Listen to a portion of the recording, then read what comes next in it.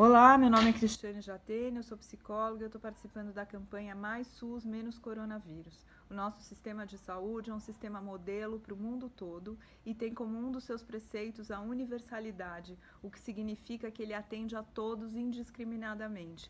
Não podemos aceitar que mais dinheiro seja retirado do SUS, que mais dinheiro seja retirado das nossas pesquisas científicas. Nesse momento de pandemia do coronavírus, nós temos que seguir o que todos os países estão seguindo de acordo com a recomendação da Organização Mundial de Saúde. Temos que ficar em casa, circular o menos possível, para que não haja uma contaminação coletiva simultânea do coronavírus e, com isso, nosso sistema de saúde tenha mais chance de atender a todas aquelas pessoas que vão precisar de internação. Isso significa salvar vidas de brasileiros, evitar mortes desnecessárias. Vamos valorizar o SUS. Mais SUS, menos coronavírus.